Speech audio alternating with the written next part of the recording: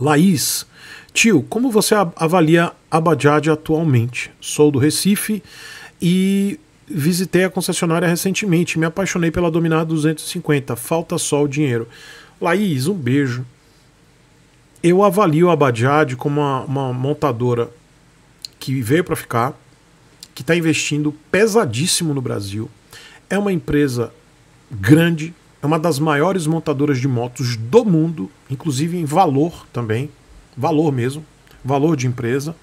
É uma empresa que tem um valor maior do que o da Honda, por exemplo, e é uma gigante.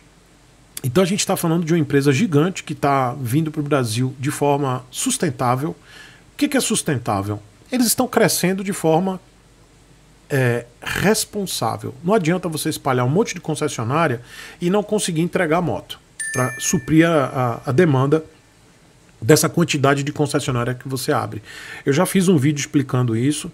É, eu tenho as minhas críticas à Bajaj, tenho minhas críticas em relação a algumas coisas, né, principalmente em relação à montagem das motos. Mas é só isso, tá? É, minha crítica ela vai muito na montagem na montagem. Eu não estou criticando tempo de manutenção, critico porque eles agora estão com essa política aí diferenciada. Eu espero que eles mudem, mas ainda assim eu vejo o preço das motos interessante. As motos são boas, todas elas. Eu recomendo todas as quatro motocicletas, os quatro modelos, 160, 200, 250 e 400. E já falei para vocês que ah, não adianta expandir agora, tipo, ah, vamos abrir mil concessionárias. Não adianta porque não vai ter moto para atender a demanda de mil concessionárias. Então, o trabalho da Bajaj é um trabalho de base, é um trabalho de sustentabilidade. Ou seja, como é que você constrói uma casa? Você tem que ter um alicerce bom. Não adianta você construir uma, casa sem fazer a base. A casa de, desmorona. Então é por isso que eles estão crescendo aos poucos, mas estão crescendo. Vocês viram que, gente, eles só têm um ano, um pouco mais de um ano e meio. E olha quantos concessionários tem. A gente tem aí montadora que tem 40 concessionários e está 20 anos no Brasil praticamente. E só tem 40 concessionários. Tem montadora aí que tem. É, deixa eu ver aqui. A JTZ, Suzuki, tem 30 anos de Brasil. 140 concessionários, 120 concessionários. Entendeu? Então temos é, uma, uma montadora que está há pouquíssimo tempo e já está avançando aí com perspectiva de bater quase 40 concessionários no ano que vem.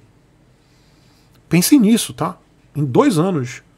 Então eu vejo isso com bons olhos. Só que eu não tenho essa ansiedade de querer cobrar uma ampliação sem ter base. Eu, a gente tem que cobrar ampliação, óbvio.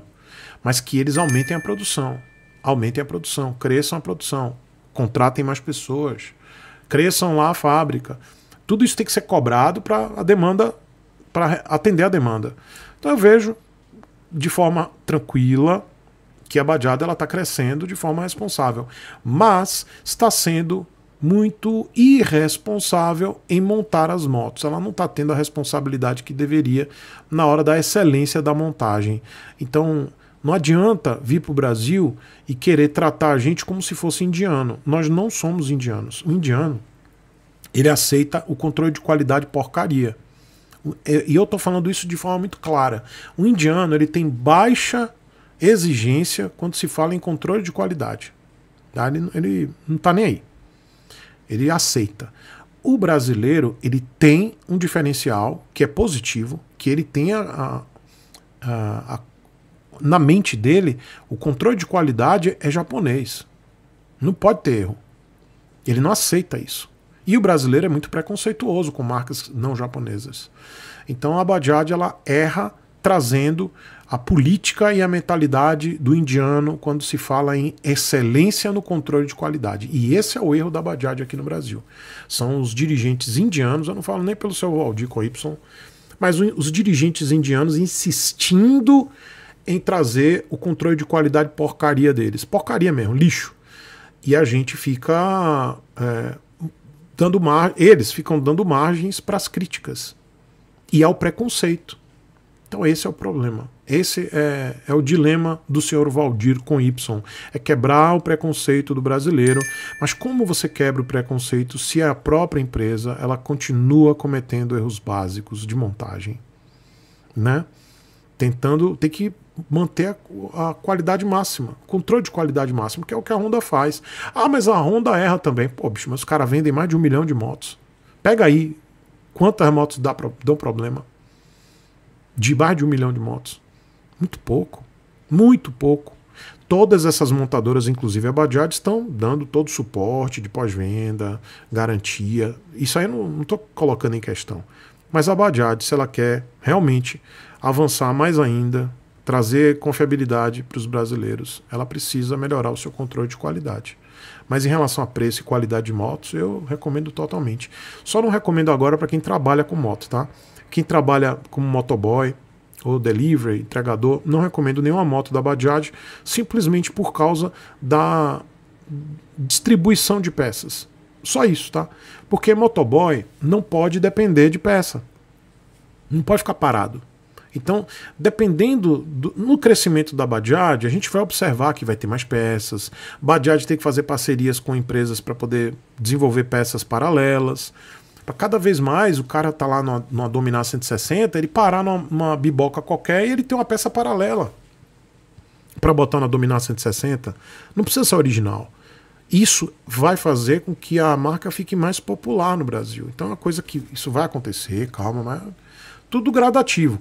Então, por enquanto, não acho que é a moto do trabalhador. Eu acho que é a moto do brasileiro, mas não do trabalhador. Do trabalhador brasileiro tem outras marcas, né? A própria Honda, que mesmo tendo motor de plástico, é uma moto que tem muita peça. A Yamaha, a Hauju, a Shinerai, que não tem a mesma quantidade de peça, nem a Hauju tem, do que uma Yamaha do que uma Honda. Isso é óbvio, tá? Mas precisam evoluir também essas duas. Shinerai e Hauju precisam ter mais peças, cada vez mais. Fazer esse mesmo esquema que eu falei da Bajaj. Mas hoje, motos que você acha peças paralelas facilmente, só Honda e Yamaha.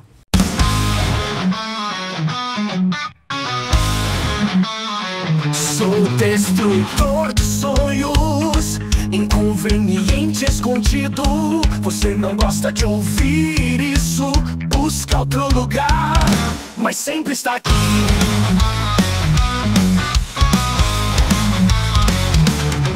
Quando pergunta, não sabe, a verdade vai chocar. Fica comigo.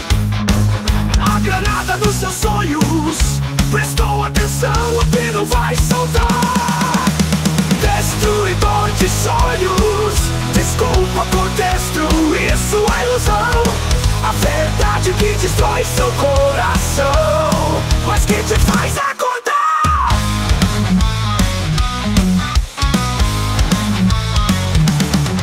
Privilégio da notícia. Podia ter aqui, mas não tem. Prometo uma noite vai lançar Aquela moto do Paquistão. Vai chegar Moto feita nos picos do Himalaia. Você vai esperar. Chegar Soltei Destruidor de sonhos.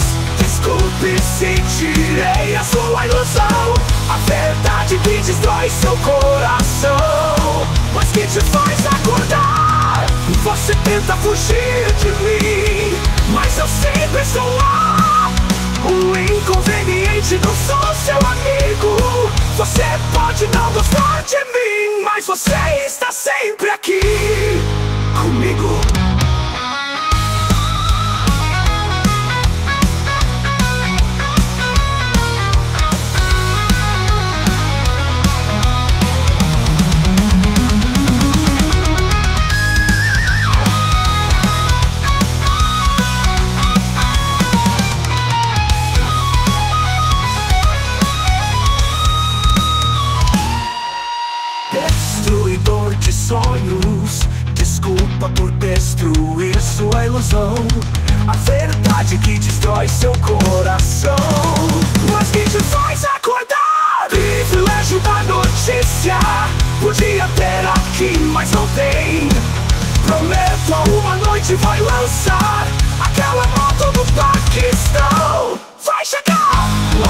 Feita nos picos de Himalaia Você vai esperar Chegar, sorteio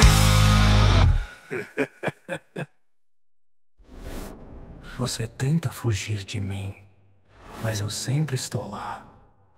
O inconveniente não sou seu amigo. Você pode não gostar de mim, mas você está sempre aqui comigo.